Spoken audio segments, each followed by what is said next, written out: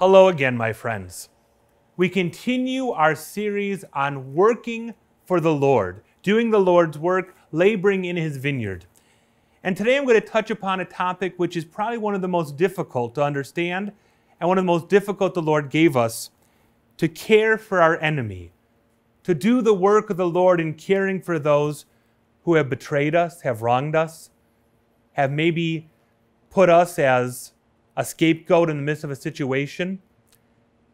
Paul again reminds us in his letter to the Corinthians we've all been given a share of the Spirit.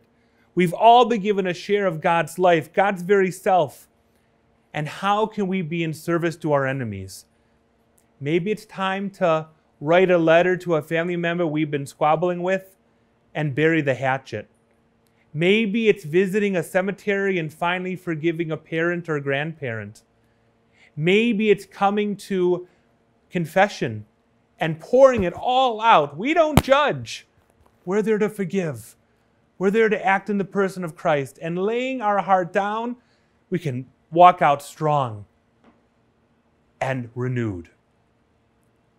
A lot of times we forgive our enemy, they're not going to forgive us back. They may never know. But forgiveness doesn't mean what a person did is right.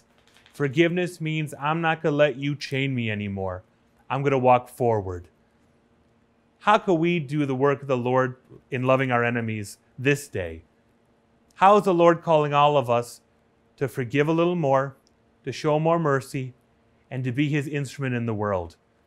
For we are in this together. We're all brothers and sisters in Christ. None of us are perfect. We all need a second chance. And we need that chance in order to build up his kingdom on earth as it is in heaven.